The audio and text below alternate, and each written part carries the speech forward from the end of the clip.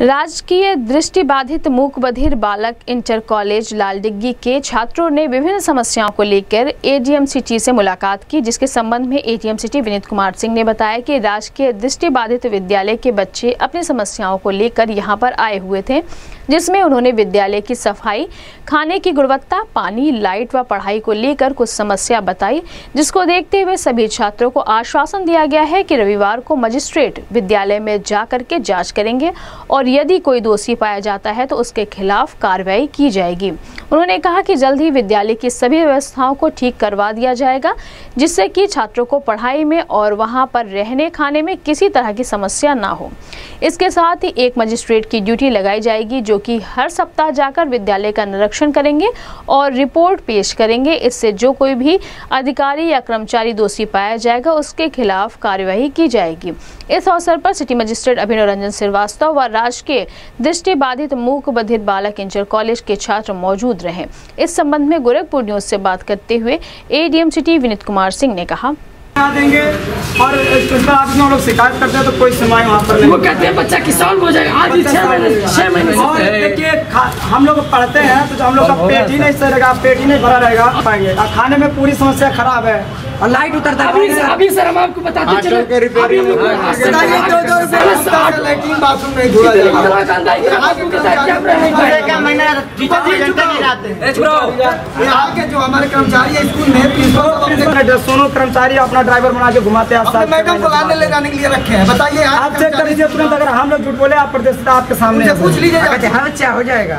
अच्छा और कोई बात बोलनी है? बना है लाइट। सही है। हाँ लाइट समस्या और और हमारे यहाँ जो लेटरिन करने का मतलब पानी होता है ड्रम लगा रहा है। वहाँ ड्रम के पानी पूरा गिरे रहते हैं यहाँ पर मेरा बाल ही नहीं अभी तक जमा फूट गया सर वहाँ पर पानी गिरता बनता ही नहीं है। टूट गया कड़क कड़क अभी भी कर रहा लगा इसको देखिए कल टूट गया वहाँ पर काई वही भी नहीं साफ़ सुथरा होता। और जो ड्रम होता है ड्रम नहीं लगा है। ऊपर छत के हम लोग कपड़ा वपड़ा डालते हैं। कहा था छत खोल जैसे हम लोग कपड़ा में वहाँ कपड़ा वो भी पकड़ा लाइक नहीं बोलते मिलता हैं। शीशा पूरा हम लोग के हाथ में लग जाता है पैर में लग जाता है गिर जाता है। कितना दिन से हम लोग चार साल से तीन साल से कहते हैं सर जी आप करा दीजिए करा दीजिए। लेकिन तो उसके जाएगा। देखिए एक अभी लड़का था उसका एक तो हम ले जाके दवा करा दिए। सर हम क्या होगा? मतलब हम लोग दवा करा दिए सरकार की तरफ़ से कह रहे हैं यहाँ से सरकार से नहीं आता आप लोग घर भेज दिया करिए। चाहे कुछ भी हो सके ये मतलब बहुत देर होने को समझा सर। आरोप लाइट। हम आपकी बातें समझ गए हैं। तो उसको हम और सिटी मजिस्ट्रेट खुद ही आके निरीक्षण करते हैं औचक निरीक्षण। कल कल संडे है परसों करते हैं। नहीं नहीं आज से साहब बात क्या बात सुन लीजिए। समस्याएँ आपने बताई है? है हॉस्टल खुला रहता है। सर जी जब छात्रावास अब बात ये है सर कि हम लोग आगे उन लोग साफ़ सफ़ाई करा देंगे इसीलिए मंडे को मंडे को हम लोग आ रहे हैं तो देखिए सर मंडे को भी आएँगे तो शायद नहीं होगा इससे पहले की एक बात और मैं मैं पहले बात एक बार मेरी बात सुन लीजिए। जो निरीक्षण है सारी समस्याएँ अगर आपने लिखी हो या कुछ भी बताई हो हमने हमें याद तो है हम उनसे बात सही करा लेते हैं अगली पहले मेरी बात खत्म कर दो अगली बात ये है कि आप जो कह रहे हैं हाँ जिस दिन हम जाएँगे उसके पहले सब व्यवस्थाएँ सही करा ली जाए जाके निरीक्षण करते रहो और इनका समाधान कराओ। हम लोग पूरी तरह आपके साथ खड़े हुए हैं। बात अब बताइए अब बताइए। सर पहली बात पहली पहली बात तो ये सर जो हमारी विकलांग कल्याण अधिकारी है बात सुनो टोको।